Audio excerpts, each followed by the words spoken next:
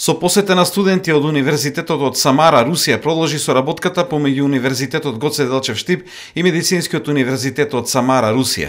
Девет студенти од Самара во рамките на еднонеделниот престој во Република Македонија, студентите од Русија го посетија Универзитетот Гоце Делчев, каде се сретнаа со проректорот за настава професор доктор Блажо Боев, кој најави дека оваа соработка ќе продолжи и ќе ја има полната подршка од УГД со тенденција да се прошири. Пред посетата на Универзитетот Гоце Делчев, студентите беа во повеќедневна посета и на специјалната болница за хируршки болести Филип II во Скопје, а има организирана посета и на Охрид. За целата програма и престојот во Македонија тие изразија задоволство.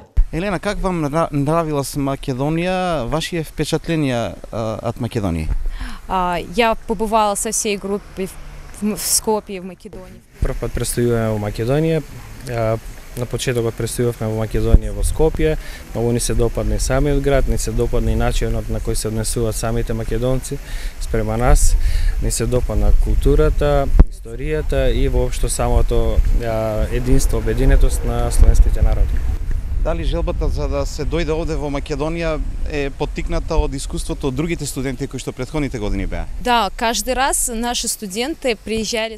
Значи, да, секој пат нашите студенти се враќаат од Македонија со голема воодушевеност. Да можеме да се да се најдеме во групата која што ќе пристигне, која што ќе престојува Македонија, требаше да а, оствариме еден вид рейтинг и да се да не одберат во а, во самата група бевте и во болницата Филип II во Скопје, каде кој што е официјален партнер и соработник на Универзитетот Гоце Делчев. Клиника на наш взгляд является высококвалифицированной.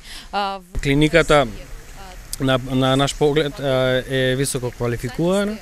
Во Русија исто така има постојат клиники кои што се исто така високо квалифицирани. Причинаците лекарите таму не сред, не пречека многу добродушно, ни објаснија се, се ни објаснува, имавме средби и разговор со пациентите. И многу не израдува самата опрема и техниката кои што се наоѓаат во болницата Филип II.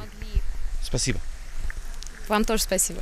Предходно студенти од факултетот за медицински науки при Универзитетот Гоце Делчев престојуваа во посета на медицинскиот универзитет во Самара.